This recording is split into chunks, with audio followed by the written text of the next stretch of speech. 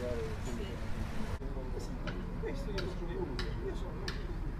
In questo tratto eh, ci sono anche, diciamo, eh, forniamo anche pasti caldi, qualche cosa diciamo, di caldo, specie quando è la notte. E questo non lo facciamo soltanto noi, ma lo facciamo tutte le associazioni di volontariato che sono presenti qua. Perché quando siamo qua dobbiamo ricordarci che tutti lo facciamo per un unico scopo, essere volontari e aiutare il prossimo. Non dobbiamo eh, dire soltanto sono Croce Rossa, ma dobbiamo cercare di far capire a tutti che siamo qua e vogliamo aiutare veramente il prossimo, perché lo facciamo veramente per spirito di volontariato.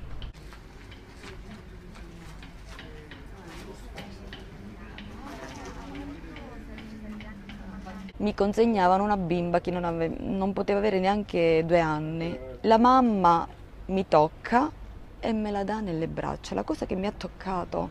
La bimba che nessuna bimba se non conosce non va nelle braccia di un'altra persona, invece questa bimba me la sono sentita come messa tra le mie braccia, come se avesse, il suo corpo avesse ceduto dicendo ah finalmente trovo serenità, sono su braccia sicure.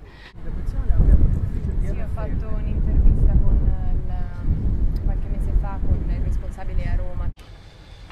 Quando ci sono stati 29 morti, i 29 ragazzi che la Guardia Costiera è approdata qui, io vedevo questi ragazzi appoggiati l'un l'altro come se erano, fossero stanchi no, dal viaggio. Li guardavo mentre uscivano altre, altri ragazzi da... Allora cercavo di capire cosa stava succedendo. Ho chiesto a un ragazzo della Guardia Costiera, ho detto come mai non andiamo. Lui mi ha guardato negli occhi diretto e allora lì ho capito che non ce l'avevano fatta.